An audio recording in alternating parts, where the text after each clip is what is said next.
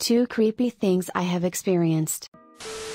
Disclaimer I'm not some paranormal believer, but I don't think that some other higher power doesn't exist. All of these stories are things that I have experienced and that I can't explain, and on top of that, I am a very skeptical person about a lot of these things. I live in the Netherlands, so there can be some bad grammar. Story 1 Around 2011, my parents bought an old house with three floors and a big basement in a small town in Germany close to Hameln. The house was originally built in 1850 and was used by hunters to store their kills, which were mostly deer, boar, and rabbits. They did the skinning, disemboweling, etc. in the basement, and whenever I was down there, I felt uneasy, even when I was with other people. The house was located next to a retirement home where a lot of nuns lived. The nuns always walked around the town and the forest and were very kind and had a lot of stories to tell about life. Fast forward to 2014, the retirement home was slowly gonna go empty and all the nuns started to move away. Since that the forest and town started to feel way less warm and that made me visit the house less than normal. One time when I visited right after the last nuns left town, I went to the forest with my dog, Belgian Malinois, and the entire time I felt a feeling of being watched. I noticed that my dog was also looking around way more than usual and I just felt a feeling of unease. At a certain point after walking for a few hours my dog stopped dead in his tracks and looked with his ears pointed to a point on the path about 10 meters before us. All his hairs were standing up as if he was in danger. He started slowly walking to the point he was looking at as I walked next to him. Usually, whenever he sees a wild animal, he just tries to run after it, but he never reacted like that before. He was looking at the same spot as if something was there. I started to feel a cold chill, and the feelings of uneasiness and being watched started to grow stronger and stronger. At that point when we were about 3 meters before the spot my dog was looking at I decided that it would be the best choice to just walk away.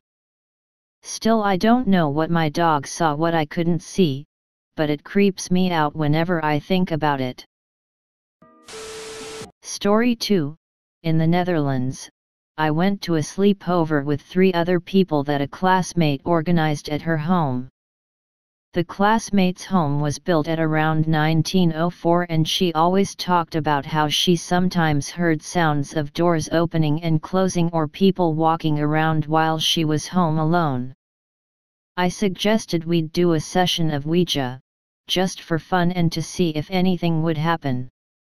I already knew about what made the lens move while doing Ouija, something like unregistered muscle movement, so I thought nothing special would happen.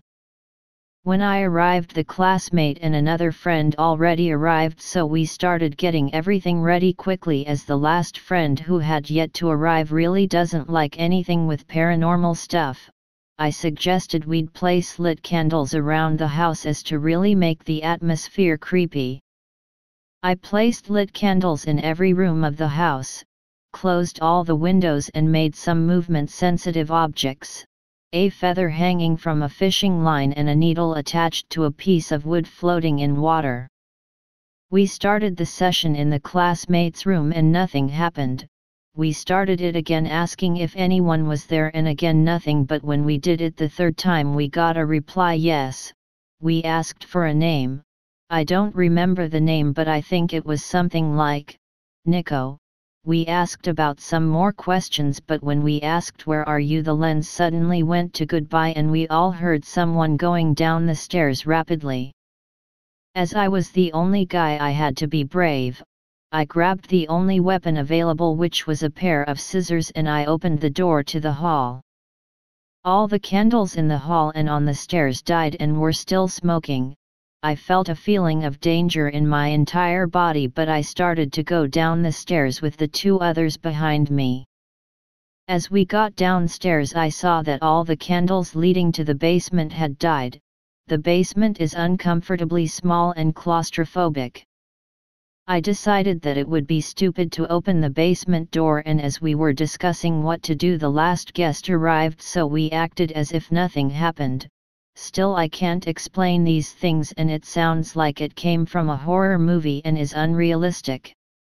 I guess some things are not to be explained logically. The stories may sound unrealistic and cliche to some people and I can get that because I normally don't believe in the paranormal but many stories like these may prove that there may at least be something of a higher power. I don't know, it is up to yourself to believe your beliefs or question them.